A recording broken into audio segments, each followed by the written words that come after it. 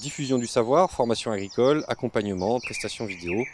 Vers de Terre Production s'engage pour la transition agroécologique.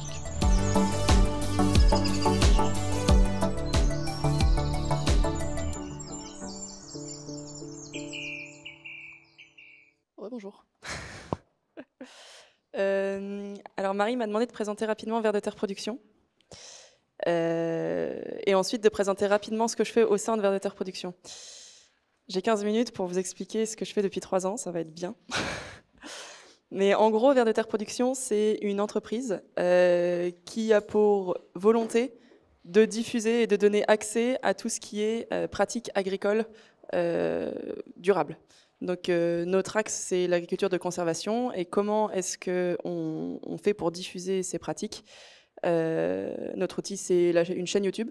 On a une chaîne YouTube à 70 000 abonnés, euh, majoritairement des agriculteurs qui nous suivent. On filme tout et on met tout en libre accès sur YouTube. C'est souvent des, contenus de 5-7 heures parce qu'il y a peu de recoupage derrière et que le libre accès, ça finance pas. voilà. Mais donc l'idée, c'est vraiment de diffuser. Euh, ensuite, euh, il y a l'accès vidéo, il y a tout ce qui est formation, on fait des formations, il y a tout ce qui est accompagnement. Et euh, moi, j'interviens sur le volet accompagnement en agriculture durable de conservation des sols, spécifiquement pour le maraîchage, sur des techniques qu'on appelle le MSV, maraîchage sur sol vivant. Et donc, euh, au quotidien, j'accompagne des maraîchers qui veulent changer leurs pratiques, aller vers l'arrêt du travail du sol, la nutrition carbonée des sols, euh, et des communes qui veulent installer des maraîchers, euh, ce qui explique ma présence, entre autres, à la FOP. Voilà. pour la présentation d'aujourd'hui,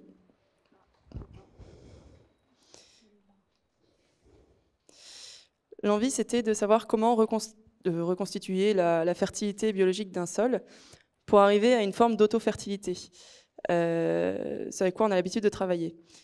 Pour savoir comment arriver à l'auto-fertilité, je vous la fais rapide, euh, on va dire bah, de où on part, qu'est-ce qu'on cherche à atteindre et comment on fait pour y arriver. Je ne vous refais pas euh, toute notre vision de l'agronomie des sols parce que j'ai pas le temps, mais je vous invite à aller regarder plus amplement nos contenus sur YouTube si vous voulez. Donc d'où on part, comment j'évalue le potentiel de fertilité de mon sol? Euh, ça encore, je vais passer un peu rapidement. Mais euh, en gros, ça va être euh, qu'est-ce qui pousse? Quelle est la texture de mon sol Sa structure? Est-ce qu'il est vulnérable?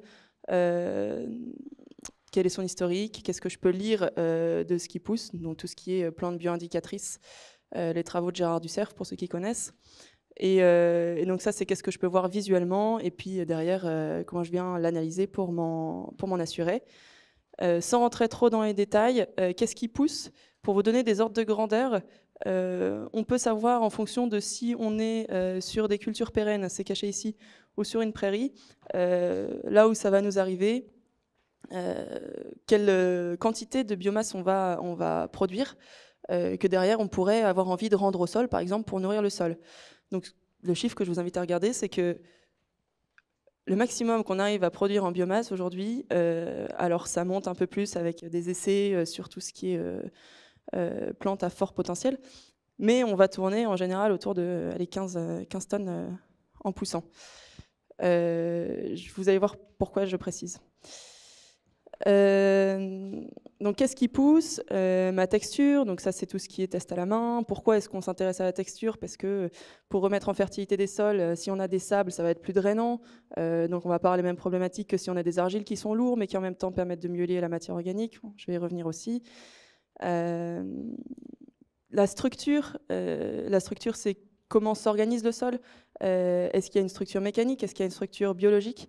Structure mécanique créée par euh, un outil de travail du sol qui vient donner de la porosité, de l'air dans le sol. On en a besoin pour la vie du sol. Euh, mais qui est peu durable parce que ben, dès qu'il pleut dessus, si c'est pas couvert, potentiellement, il y a tout qui s'en va parce qu'il n'y a pas de liant ou peu de liant. donc structure mécanique ou biologique, là on utilise tout ce qui est outil d'évaluation visuelle des sols. Je vous ai mis ici une application qui permet de le faire euh, sur vos téléphones et qui vous donne des notes euh, pour avoir un suivi. C'est assez bien fait. Euh, ah, j'ai retiré deux diapos sur tout ce qui était résilience à l'eau, donc ça, ça va être tout ce qui est slack test. on met une mode dans l'eau, est-ce qu'elle tient ou est-ce qu'elle s'enfuit? Ça, je vous invite à le faire chez vous, c'est super intéressant de comparer un sol de forêt et le sol du champ du voisin. en gros, c'est s'il pleut, est-ce que je garde mon sol ou est-ce qu'il s'enfuit? Euh, euh, et, l'autre diapo, c'était sur euh, Gérard Ducerf, où pareil, il y a une application qui est, est liée à PlanteNet pour reconnaître les sols et, faire des, diagnostics de plantes de vos sols. ça, c'est tout ce qu'on peut évaluer visuellement. Et puis derrière, qu'on va venir vérifier avec une analyse si on peut et si on a les moyens. nous, ce qu'on invite à regarder surtout sur une analyse, c'est la texture, mais ça, il suffit de le faire une fois. Euh, pour savoir quel est euh, notre sol et comment potentiellement il va réagir. Et ensuite, tout ce qui est euh, matière organique, avant tout, parce que c'est ce qui va permettre de structurer le sol, c'est ce qui va permettre la vie du sol. Le pH, il va être lié à la matière organique. S'il y a peu de matière organique, vous êtes très dépendant du pH de votre sol d'origine. plus vous allez apporter de la matière organique, plus le pH il va se rapprocher de 7. Ça tombe bien, c'est ce dont la plante a besoin pour pousser. 6,5-7. J'en vois qui froncent les sourcils. Euh, le rapport carbone-azote de votre analyse, c'est juste pour vous dire si euh, vous avez fait l'analyse dans des bonnes conditions ou si vous avez mis trop de matière dans l'analyse. Chez qui on l'a fait, euh, ça c'est vous que ça regarde. Je ne suis pas là pour faire de la pub à un labo. Simplement,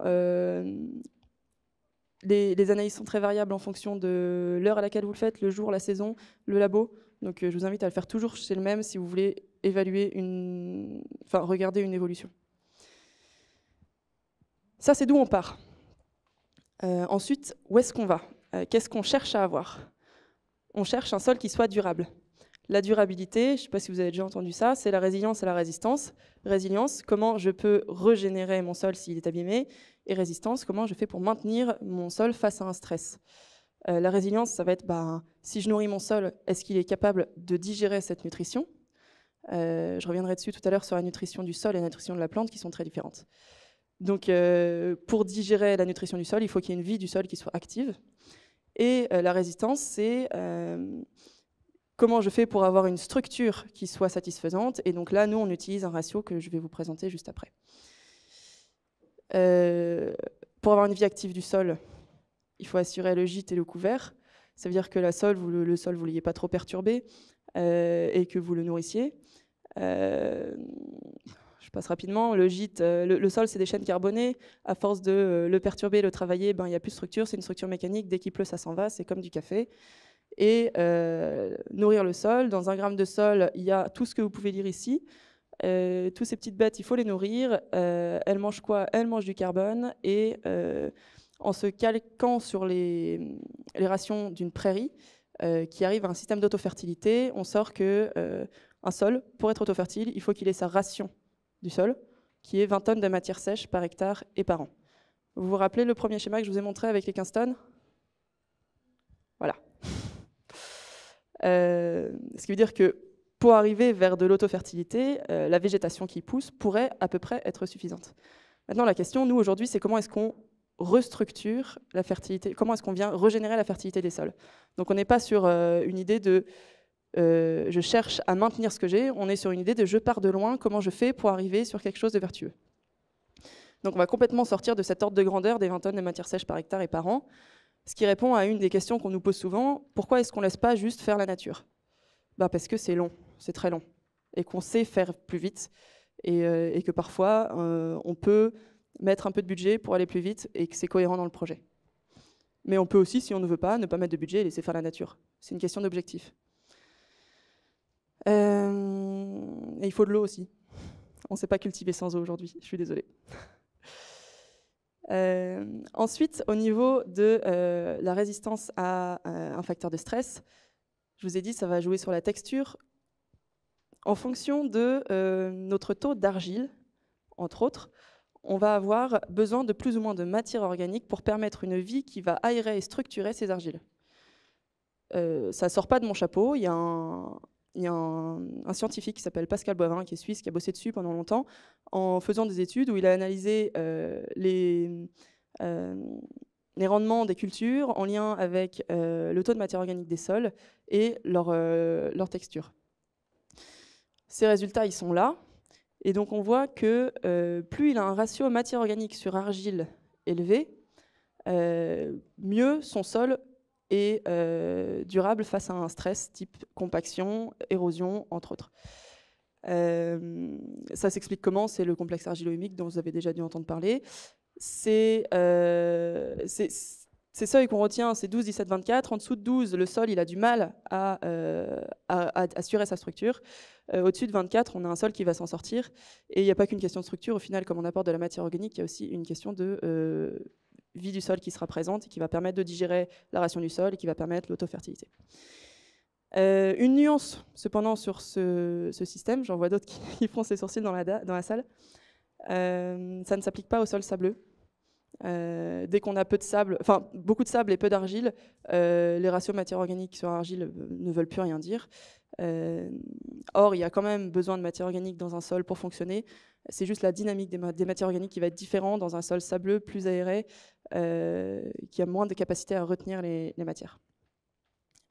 Il y a un autre scientifique qui a travaillé dessus qui s'appelle Olivier Husson, qui lui nous met des seuils à partir duquel le sol commence à arriver à une mode d'autofertilité et une structure qui se tient bien. Donc on est là autour de, du 2-3% de matière organique. Euh, et puis plus on monte, euh, plus ça va.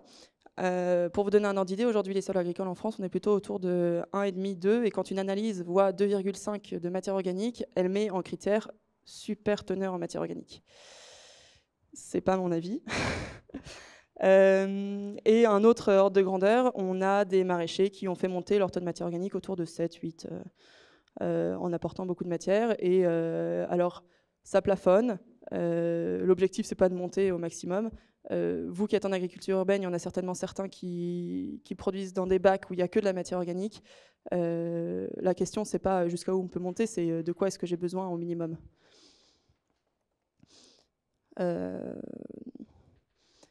Et donc, si je pars d'un un taux de matière organique très faible et que je veux arriver à un potentiel d'autofertilité, donc avoir mon beau ratio de Pascal Bovin, entre autres, comment je fais pour remonter le taux de matière organique de mon sol euh, En SDCV, semi-direct sous couvert végétal, euh, il y a des études qui ont été menées qui montrent que donc en rendant les pailles, en diminuant le travail du sol sur, des, parcelles en grande culture, on arrive à gagner 0,1 point, donc 0,1% de matière organique tous les ans. Euh, c'est bien, ça permet d'augmenter les taux de matière organique des sols et donc d'aller vers de la durabilité, mais c'est lent. Euh, en mettant en place des prairies permanentes, on arrive à 0,3, parfois plus si les prairies sont bien gérées. Euh, donc là, on va aller sur tout ce qui est système de pâturage, optimiser, arroser l'herbe, la faire pousser pour régénérer au maximum les sols. Donc encore une fois, quel est votre objectif? Et avec les stratégies que nous, on utilise parfois, qu'on appelle les stratégies d'intrants massifs, on peut reprendre jusqu'à 3% de matière organique des sols en un an et demi, un an. Euh, c'est intense, mais c'est réalisable. Euh, et vous verrez ma conclusion, c'est est-ce que, euh, est -ce que ça s'adapte à tout projet et est-ce que vous voulez le faire ou est-ce que vous avez nécessité de le faire? Mais donc je suis là aujourd'hui pour vous dire comment est-ce qu'on fait. Donc comment est-ce qu'on augmente le taux de matière organique? Si je veux ajouter 1% de matière organique à mon sol, je vous fais une petite partie calcul, après je vous donnerai le diapo si vous voulez. Euh, mon sol sur 130 cm, euh, ça va me faire une masse de terre sur laquelle je veux rajouter tant de tonnes d'humus pour que ça fasse un pourcentage de ma masse de terre. Cet humus, euh, c'est de la matière organique à la base. Une matière organique, quand je vais la mettre dans mon sol, elle va avoir un coefficient de minéralisation primaire qui s'appelle le K1, qui me dit que par exemple, je mets du broyat de déchets verts dans mon sol, il y a 50% qui va rester en humus au bout d'un an et demi. Donc hop, ça c'est mon K1. Ça me donne le K1 sur de la matière sèche, je le remets en matière humide, euh, ça me donne de la tonne, je le remets en mètres cubes. En mètres cubes, ça me donne l'épaisseur et le nombre de bennes qu'il faut que j'apporte sur, euh, ma parcelle. Petit calcul rapide. Euh, concrètement, exemple, si je veux ajouter 1% de matière organique sur 30 cm de profondeur, il me faut 40 tonnes d'humus. donc 40 tonnes d'humus avec un coefficient de minéralisation primaire à 50, ça me fait 80 tonnes de matière sèche hectare tac, tac, tac, tac, tac, on arrive à 5 cm, euh, pour, 5 euh, cm de broyat de déchets verts très carbonés pour 1% euh, de matière organique. Si je veux le faire avec de la paille, j'ai pas les mêmes coefficients, j'ai pas la même densité, j'ai pas la même matière sèche, ça me fait 3 mètres de paille. Ce qui nous amène à la question, qu'est-ce que j'utilise comme matière pour augmenter le taux de matière organique de mes sols? C'est une question d'objectif. Quel est mon objectif? Est-ce que c'est juste un paillage en surface pour avoir mon sol qui continue à fonctionner et le nourrir? Ou est-ce que c'est vraiment prendre trois points de matière organique parce que j'ai un sol très dégradé que je veux remonter? Si on part sur mon objectif, c'est vraiment de faire un entrant massif pour remettre en fertilité, on va plutôt aller vers des matières très carbonées qui vont avoir des coefficients de minéralisation plus élevés euh, euh, et, plus de matière sèche.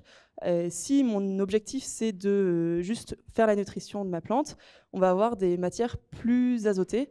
Donc ça, pour ceux qui connaissent, c'est le, ratio carbone-azote qui peut nous, l'indiquer. carbone-azote et ISB, si ça parle à certains, l'indice de stabilité. je fais la nuance parce que vous avez parlé des composts ensuite. La limite à ça, euh, c'est que si j'apporte beaucoup de matière carbonée, là j'en vois encore qui froncent les sourcils dans la salle, euh, il y a des risques. Euh, la fin d'azote, oui, si j'intègre ma matière en profondeur, il va y avoir une fin d'azote. Très bien. Est-ce que je l'accepte? Est-ce que je la compense? La fin d'azote, ce n'est pas une fin en soi, il faut juste en être informé. Oui, c'est une fin. si j'apporte 400 tonnes de matière hectare, euh, et ben, il va falloir les ramener ces 400 tonnes, ça fait un sacré paquet de bennes.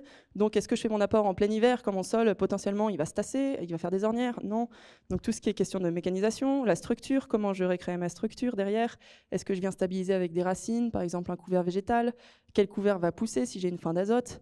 Euh, À quelle saison il faut que je fasse l'apport? Si je dois construire une serre, je la fais quand? Avant? Après? Euh, Où est-ce que je vais m'approvisionner en termes de matière? Ça, ça va être entre autres la suite de l'intervention. Combien ça va me coûter? Beaucoup de paramètres qui au final sont bah, est-ce que vous voulez euh, est-ce que c'est la méthode que vous voulez utiliser? Est-ce que euh, en agriculture urbaine vous faites plutôt euh, des bacs en hors sol Est-ce que finalement votre sol il est pas si dégradé de ça? Et puis passer par quelques années de prairie bien géré ça pourrait aussi avoir le même effet Est-ce que ben je fais un mix des deux et puis je rapporte juste un petit peu de matière en surface qui va se faire intégrer petit à petit euh, et, ça, on aura un exemple tout à l'heure euh, par, euh, par, Julien. voilà. Juste pour conclure rapidement, l'idéal qu'on a trouvé aujourd'hui, pour pas rester sur que des incertitudes, c'est de travailler avec des broyats de déchets verts frais, avec des ratios carbone-azote bas.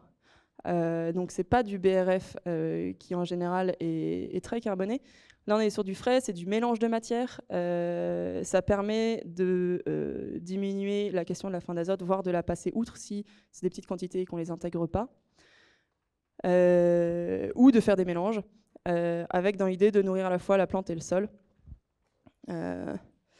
Sachant que est-ce qu'on va la laisser en surface ou est-ce qu'on va l'incorporer À chaque fois, ça va être une question de compromis, de gain de temps. Est-ce que je veux gagner du temps maintenant euh, et donc commencer ma saison dans deux mois, alors que je viens de faire un apport très carboné, auquel cas je vais équilibrer avec beaucoup d'azote pour pouvoir démarrer, ou est-ce que je veux gagner du temps à long terme, euh, où je veux augmenter euh, beaucoup le stock d'humus que j'ai dans mon sol pour ensuite avoir moins besoin de fertiliser, et donc il va falloir que j'attende de laisser passer cette fin d'azote, qui va se faire naturellement, mais va certainement m'occuper six mois sur, sur ma production.